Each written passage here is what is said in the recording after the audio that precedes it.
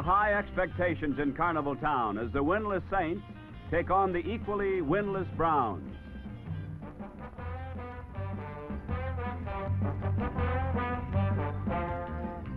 Cleveland's Frank Ryan will be quarterbacking on injured ankles.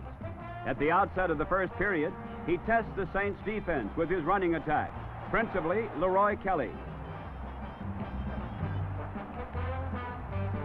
Kelly totaled an amazing 105 yards during the first half.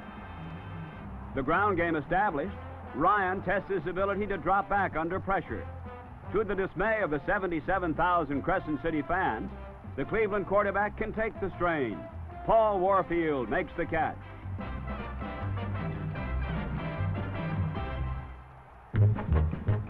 In the second quarter, Dick Shiner momentarily replaces Ryan. Shiner's first pass is intercepted by Jackie Burkett and returned to the Cleveland three.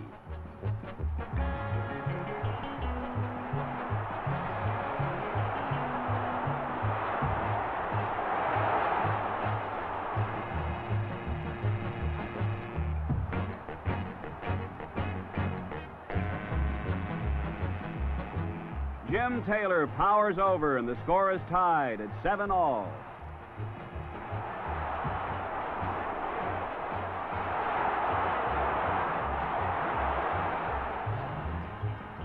Again, Ryan goes to his ground game. Behind superior line play, Ernie Green and Leroy Kelly bring the ball to the New Orleans 41.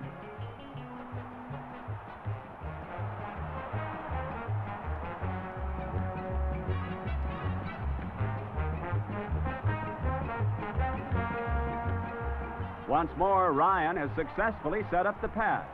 Ernie Green has swung out of the backfield and has beaten his man.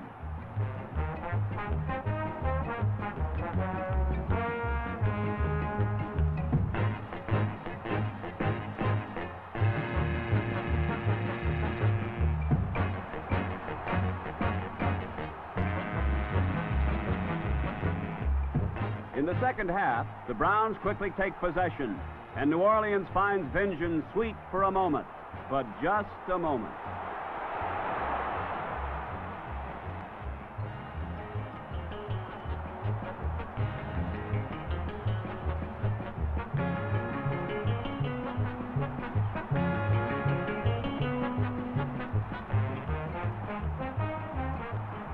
Leroy Kelly blasts in from the one, and Cleveland leads 21 to 7.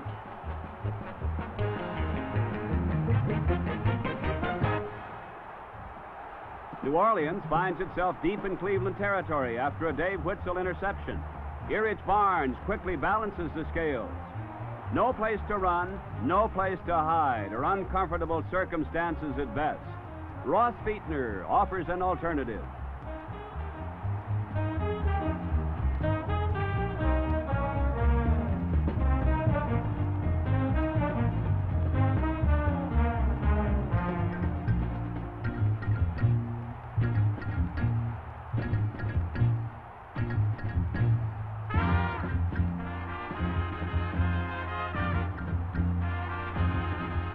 Ernie Green turns in probably the best two-yard run of the afternoon. It's worth six points.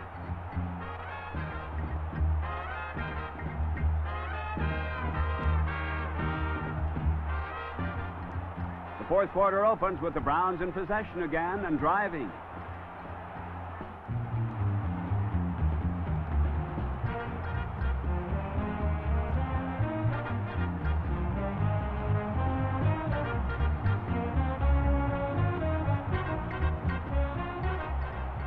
Frank Ryan finds Paul Warfield at the New Orleans 11. Dave Whitsell doesn't make sufficient contact, and the Browns have another six points.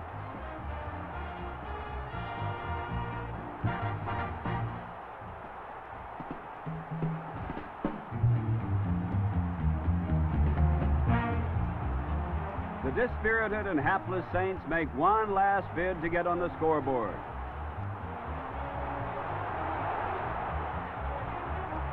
Gregory recovers the fumble for Cleveland on the Saints 29.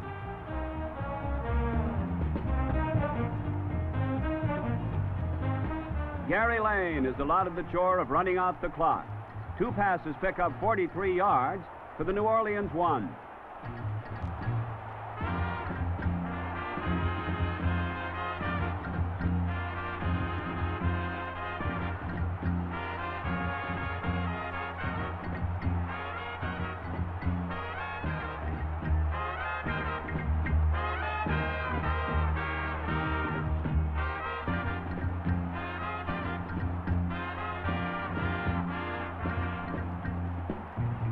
Larry Conger fumbles across the goal line, but Ralph Smith recovers for the Browns, and the final score stands Cleveland 42, New Orleans 7.